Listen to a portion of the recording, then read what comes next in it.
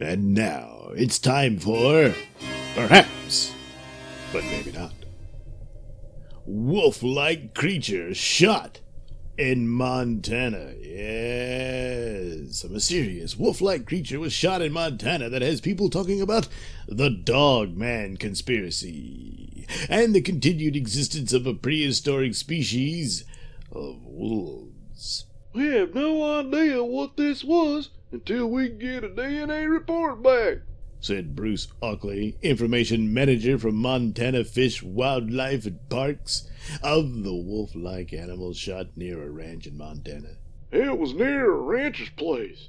It was shot, and our game wardens went to investigate. The whole animal was sent to our lab in Bozeman. That's the last I ever heard of it. The Great Falls Tribune reports that the creature, which at this point no one is 100% sure how to identify, was shot and killed on May 16th on a ranch outside of Denton. With long grayish fur, a large head, and an extended snout, the animal shared many of the same characteristics as a wolf, but its ears were too large, its legs and body too short, its fur uncharacteristic of that common to a wolf. The Tribune reports. Social media in Lewistown exploded with theories over the creature last week, with some saying it was a starved grizzly cub, others suggesting it was a descendant of prehistoric dire wolves, and others going right over the conspiracy cliff with the Dogman theory. That could very well be what's being called Dogman. One person speculated.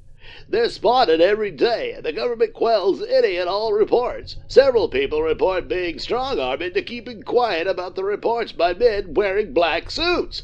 These are just facts. Look into it if you don't believe it. Conspiracy theories aside, the Tribune reports a wolf management specialist who said there are indeed several aspects of the animal that are highly unusual, and which, he speculated, may be a result of the creature being a wolf dog hybrid, which he says his department has encountered a few times. Several things grabbed my attention when I saw the pictures. Said Ty Smucker. The ears are too big. The legs look a little short. The feet look a little small, and the coat looks weird. There's just something off about it.